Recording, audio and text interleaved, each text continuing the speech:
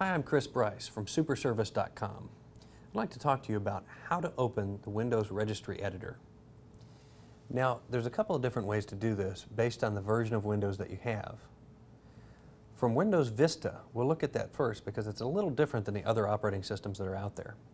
For Windows Vista, what you're going to want to do is you'll hold down the Control, Alt, and Delete keys. This will allow you to bring up Task Manager. Once you click on Task Manager, in the upper left-hand corner of Task Manager, you'll click on File and then Run Task.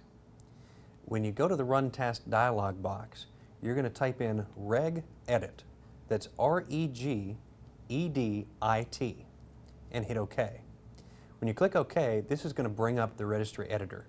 And now you've got the registry editor open and can edit the registry. In Windows XP 95, 98, 2000 and ME, you're going to want to go to the Start button in the lower left-hand corner of the screen, click on Run, and then in that Run dialog box, you'll type in the same thing, regedit, R-E-G-E-D-I-T, and then click OK. This is going to bring up the registry editor in those operating systems.